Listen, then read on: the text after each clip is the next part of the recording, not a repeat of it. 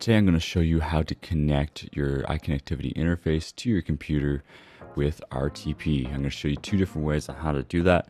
The same is going to be true for Windows. Uh, you'll need the RTP MIDI setup application at iConnectivity.com slash downloads. So let's navigate over to our audio MIDI setup, and that's where we're going to set it up, all the all the stuff that you need from the computer side. So let's go and hit our spotlight search. We're going to type in audio and we can find audio MIDI setup and we're going to click on that. So this might not be the window that shows up here. Uh, you might have to go to window and then show MIDI studio. Then we're going to click on this little globe, which is configure network.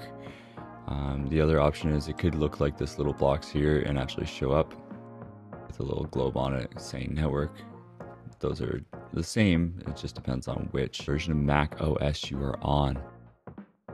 So let's click on that guy, and this is the window that's actually going to look it's going to look the same on Windows and Mac. So I'm going to put that down here. I'm going to just move this over a little bit. So the first thing we want to do is create a session, and that's how they're going to connect. So we're going to create the session by hitting this little plus button, and we're going to give this name session one, two, three. So this local name up here is what's actually going to show on your software or your DAW, whatever you're using on your computer. Um, so make this a name that uh, makes sense for you in your software.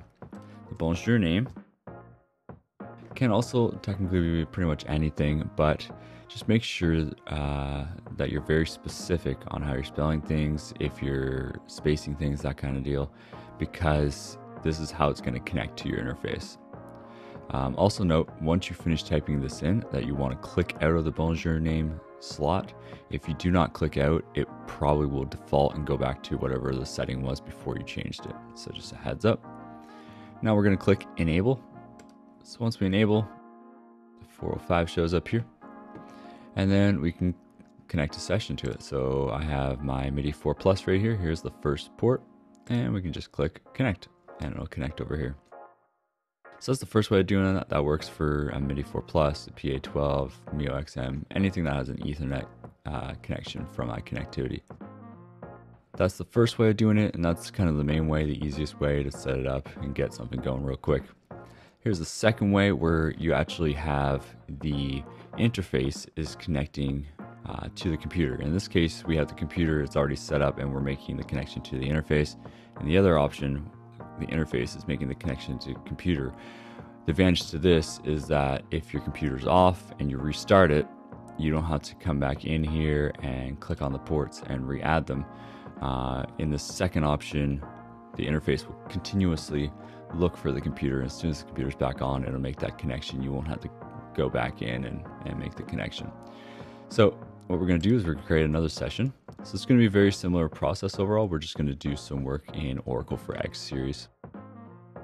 So we create the session. We're going to call it um, session 456. And we're going to copy that. And you can see the bonjour name right now is session 123, which we don't want because it'll override the other one. So we want to paste it right in there in the bonjour name and then click out. We're going to enable it. And then we'll just go in uh, and we can go to our MIDI 4 Plus if you want.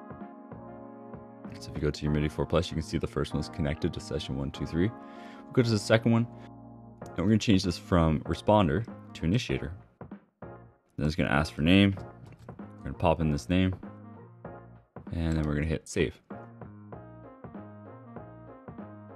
And there you go. You see it's connected now to session 456, and you can see that there's a connection made over here. And again, this exact same thing is true if you're going to, say, your Mio XL, going to RTP.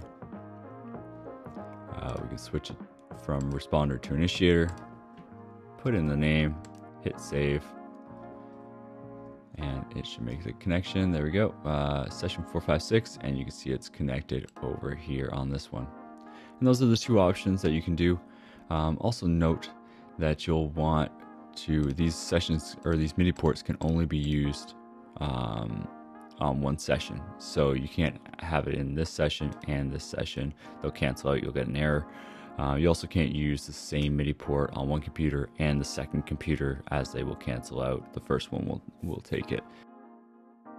So just a heads up, so if you use port 2 here, you might want to use port 3 on another computer. Hopefully that helps you out with setting up RTP.